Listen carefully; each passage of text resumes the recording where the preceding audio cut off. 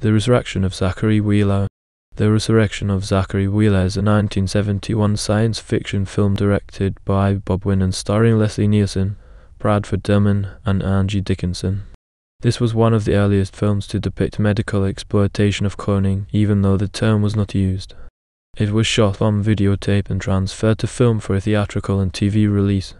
Gold Key Entertainment commissioned this film at the same time as it commissioned the film The Day of the Wolves and tried to persuade Ferde Grofe to film that on video because of the cost savings, but he declined. Plot Reporter Harry Walsh Nielsen witnesses a motor accident in which two people are killed. Recognizing the survivor, Senator Clayton Zachary Wheeler, Dillman E. rides with him in the ambulance. After he reports Wheeler's accident from the hospital, the staff tells him there is no such person admitted. Walsh's editor orders him to retract his story, which he refuses to do at the cost of his job. Some detective work leads him to Alamogordo, New Mexico.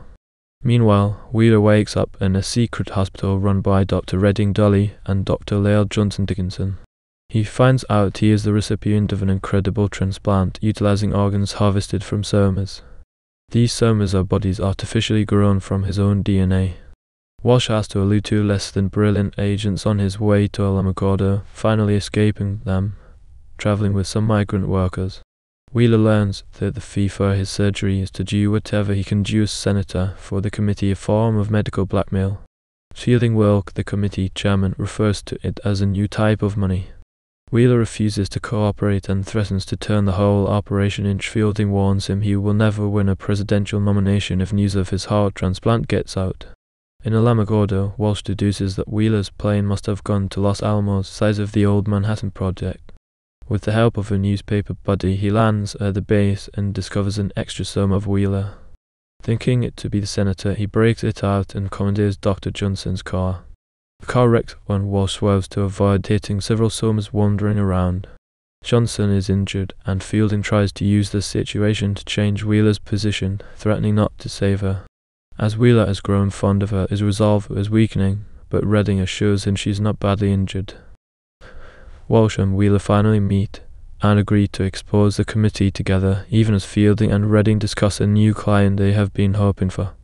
Cass, Leslie Nielsen, Harry Walsh, Bradford Dillman, Sen Clayton, Zachary Wheeler, slash Summer James Daly, Dr. Redding, Angie Dickinson, Dr. Lael Johnson, Robert J. Wilke, Hugh Fielding, Jack Carter, Dwight Schillis, Dan Haggerty, Jake Lou Brown, Collins, Richard Jala, Bates, Dick Simmons, Adams, William Bryant, Craig Harmon, Tris Coffin, Dr. Keating, Peter Mamakos, Premier Mabel, of Ruben Morneau, General Muas Steve Corey, Cousin Steve Cunt, Radio Opera, Hash 2, Reduction.